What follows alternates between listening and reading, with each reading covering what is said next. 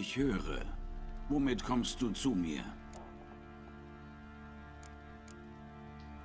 Ich habe Nachricht von deiner Frau. Potz Pestilenz, warum sagst du das nicht gleich? Wo ist sie? Warum bringst du sie nicht mit? Sie ist im Buckelsumpf. Hat Essen, ein Dach überm Kopf, ist beschäftigt. Sah nicht so aus, als wollte sie von dort weggehen. Du solltest sie zurückbringen, nicht von ihren Lebensumständen berichten. Ich sollte sie finden. Und das habe ich. Mehr war nicht abgemacht.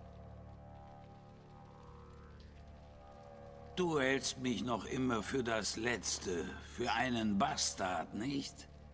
Für den Schuldigen an dem, was hier passiert ist.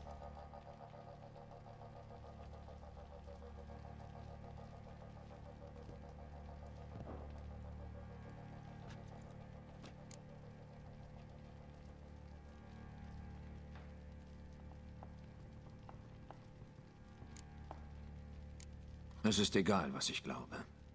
Und doch sehe ich deine Verachtung. Ich kenne die Welt der Hexer nicht, aber in unserer ist nichts schwarz oder weiß. Du wirst wohl einwerfen, dass es nicht nur deine Schuld ist. Na gut, ich höre mir deine Sicht der Dinge an.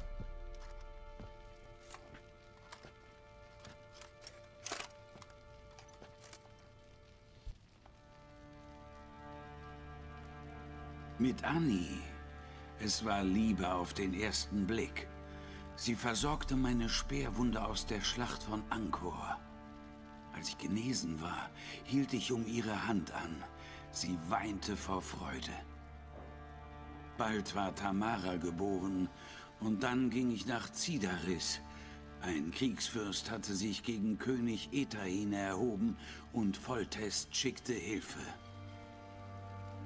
Schlachten und Scharmützel jagten einander. Ein Leben voller Krieg. Ich war selten zu Hause und fand Trost im Trinken. So viel Trost, dass ich nicht davon lassen konnte, wenn ich daheim war.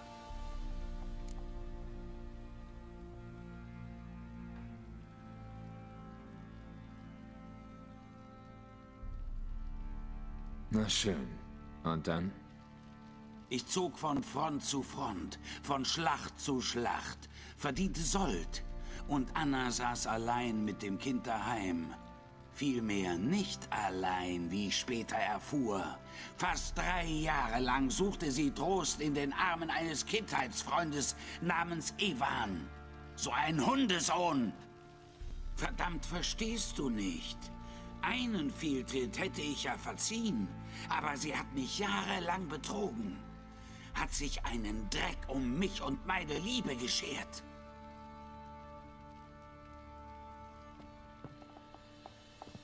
Woher weißt du das? Eines Tages kam ich nach Hause. Da waren Anna und ihre Sachen weg. Ich fand einen Brief. Sie schrieb, sie liebe mich nicht mehr und zöge mit Tamara zu diesem Wichser. Ich dachte, mir tritt ein Pferd in den Arsch. Ich zog los, um den Scheißkerl zu finden und sie wieder nach Hause zu holen. Aber als ich ihn sah, erwachte etwas Finsteres in mir. Ich schlachtete den Drecksack ab und warf ihn den Hunden zum Fraß vor.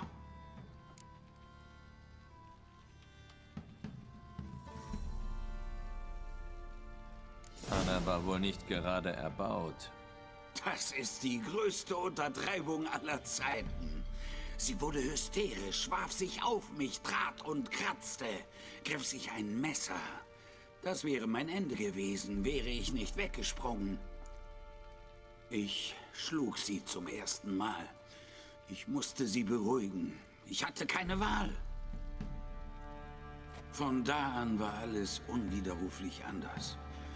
Anna versuchte oft, sich und mir das Leben zu nehmen. Sie stichelte, reizte mich, verhöhnte mich. Ich sollte sie wohl wieder schlagen. Sie schrie, dass ich ihre Liebe und ihre Hoffnung zerstört hätte und sie doch gleich umbringen könnte. Wie oft entschuldigte ich mich, brachte Blumen und Geschenke mit. Es war ihr gleich. Nach zwei Jahren war ihr Zorn zu Gleichgültigkeit geworden. Manchmal durch ihre Hysterie unterbrochen, manchmal durch meine Sauferei. Ich begreife nicht, dass wir diese Jahre überlebt haben. Nun weißt du, dass nicht alles so war, wie es schien.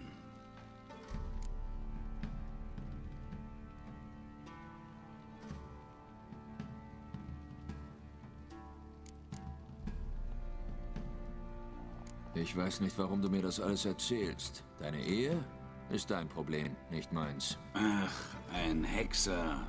Das war zu erwarten. Also gut. Wenn du Anna schon nicht zurückbringst, sag mir wenigstens, wie sie in dem Sumpf gelandet ist. Sie hat mit den Mumen einen Pakt geschlossen und... Nun, sie hat wohl den Verstand verloren. Einen Pakt? Was zum Teufel? Sie war schwanger und wollte das Kind nicht kriegen. Sie ging zu den Mumen und die versprachen, das Problem zu lösen. Gegen ein Jahr Dienst. Und die Mumen haben auf ihre verschrobene Art Wort gehalten. Was meinst du damit? Anna hat wohl gedacht, das Kind würde irgendwie einfach verschwinden. Aber die Mumen schwächten sie so sehr, dass sie eine Fehlgeburt hatte. Und da begann sie wohl den Verstand zu verlieren. Sie legten sie an eine magische Leine, die Schmerzen bewirken kann, damit sie ihre Schuld auch ja begleicht. Ein Pakt mit Hexen, verdammter Albtraum. Du scherzt wohl. Wir müssen sie retten. Wir können sie nicht dort lassen.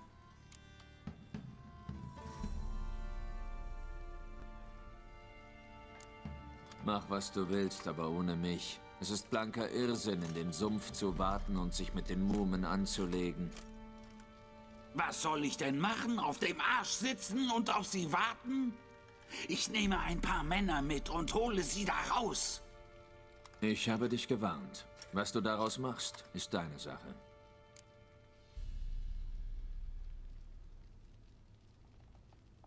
Wir hatten eine Abmachung.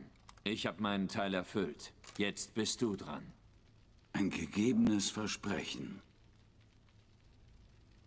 Wo war ich denn? Ein Basilisk. Er hat dich angegriffen. Ah, stimmt. Riesengroß. Ziemlich brutales Vieh.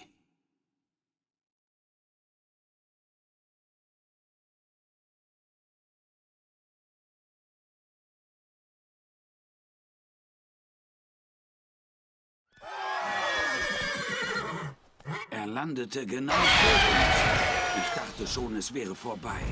Vorsicht! Wenn ich nicht überlebe, kannst du aus der Festung haben, was du willst. Du wirst überleben. Zeigen wir diesem Monster, was in uns steckt.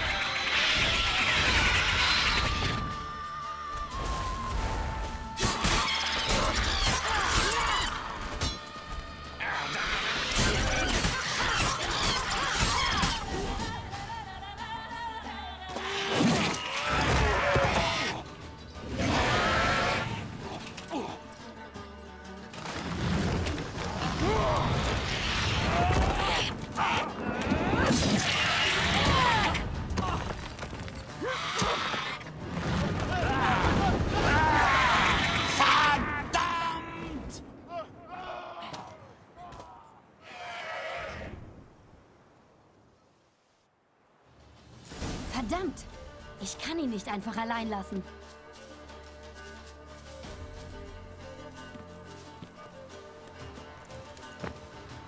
Du Hurensohn!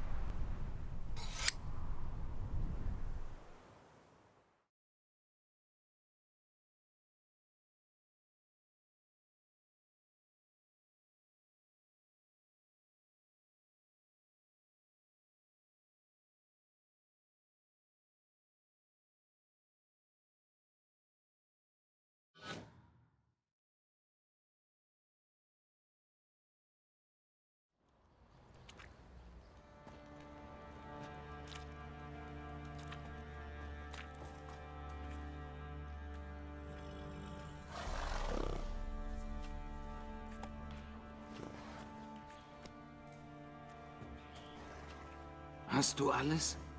Ja, vielen Dank. Was du für mich getan hast, ich werde das nie vergessen.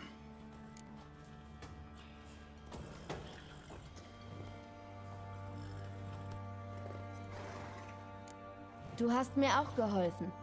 Als mich deine Männer hergebracht haben, hast du mir Essen gegeben und meine Wunden versorgt. Jetzt sind wir quitt. Du musst nicht gehen. Du bist hier in guter Gesellschaft. Wir haben immer ein warmes Plätzchen für dich. Ich muss los. Ich werde von Geistern verfolgt. Von der wilden Jagd. Es war dumm, die Macht anzuwenden.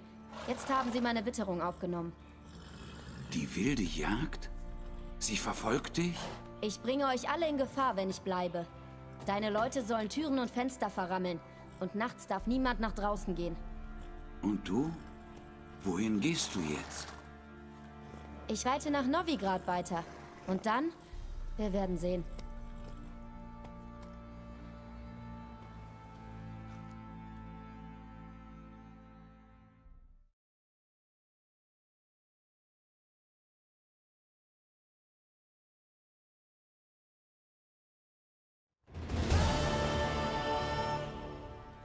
Sie stieg aufs Pferd und ritt davon. Ohne sie war es hier ganz schön einsam.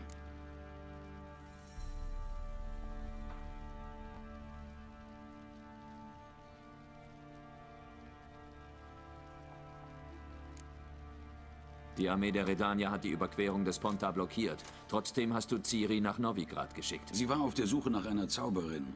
Und die sind alle in Novigrad. Außerdem habe ich sie nicht den Redaniern ausgeliefert. Ich habe ihr einen Geleitbrief mitgegeben. An wen war der Brief gerichtet? An niemanden. Der war so wie dieser hier. Wenn man ihn den Kerlen an der Querung zeigt, lassen sie einen durch. Der ist für mich. Warum sollte ich dir die Sache erschweren? Der Brief wird dir bei der Suche nach deinem Kind helfen.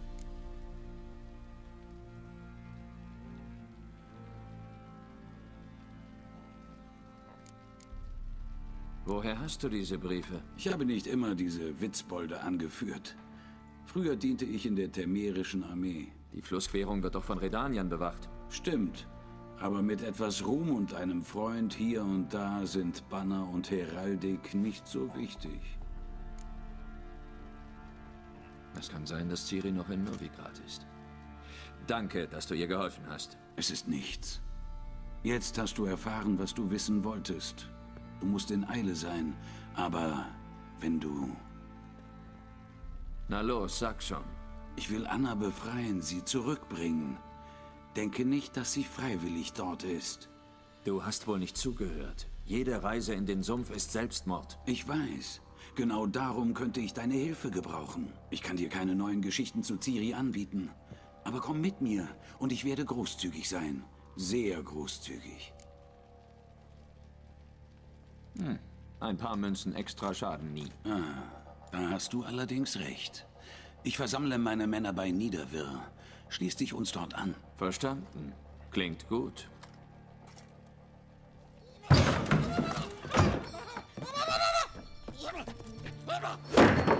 Was zum... Da bist du ja.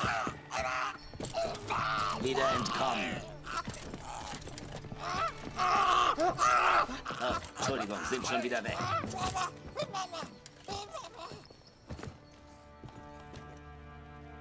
Was war das? Sag du's mir. Mensch oder Monster? Meine Männer nennen ihn Uma, halten ihn für ein Monster. Doch für mich ist er ein Mensch, so verschlagen wie Ardal. Uma? Seltsamer Name. Ja, seltsam. Aber er hat uns keinen anderen genannt. Du meinst, er kann sprechen? Er nicht. Es war so. Ich fragte ihn nach seinem Namen. Er saß da, sagte kein Wort und versuchte sich einen Zeh in die Nase zu stecken. Also nahm ich seine Hand, blickte ihm in die Augen und fragte, wie heißt du? Er grinste mich töricht an und stammelte, Oh, Uma? So kam er zu dem Namen. Hm. Sieht nicht wie ein Monster aus, aber mein Medaillon vibriert. Seltsam. Wo habt ihr ihn gefunden? Eine lustige Geschichte. Hab ihn beim Kartenspielen gewonnen.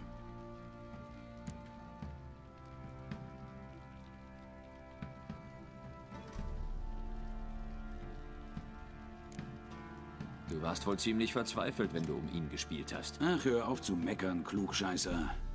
Er war der Spieleinsatz und wir spielten. Wenn jemand verzweifelt war, dann der ehemalige Herr des Burschen.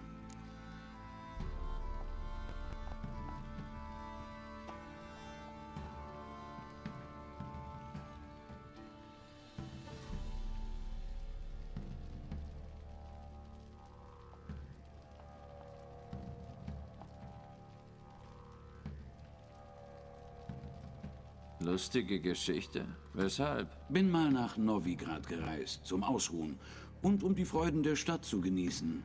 Übernachtete in einer Taverne, wo einige Leute spielten und machte mit. Die Karten meinten es gut mit mir. Hatte eine teuflische Hand nach der nächsten, nahm die Idioten aus. Ein Händler hatte besonders viel Pech. Hatte alles verspielt, was er von Skellige mitgebracht hatte wollte unbedingt noch eine Runde spielen und ich stimmte zu. Ich fragte ihn, welchen Einsatz er setzen würde und er zeigte mir diesen Tropf. Für mich war nicht viel drin, aber ich dachte, scheiß drauf, gib dem Mann die Chance, was zurückzugewinnen. Er hatte kein Glück und Uma landete auf Krähenfels. Ende der Geschichte. Ein richtiger Baron. Sogar mit einem richtigen Narren. So ist es. Aber ich habe das Gefühl, dass mit ihm was nicht stimmt. Warum denn? Nun, er scheint mehr Tier als Mann zu sein, aber er besitzt Weisheit in seinen Augen. Oder vielleicht bilde ich's mir nur ein. Schon mal sowas wie ihn gesehen? Nein, aber er sieht nicht gefährlich aus. Hm, denke, das war's dann. Ist nicht viel, aber solange er keinen Ärger macht, dient er den Jungs als Zeitvertreib. Ich muss aufbrechen. Leb wohl. Leb wohl. Hoffentlich findest du deine Tochter.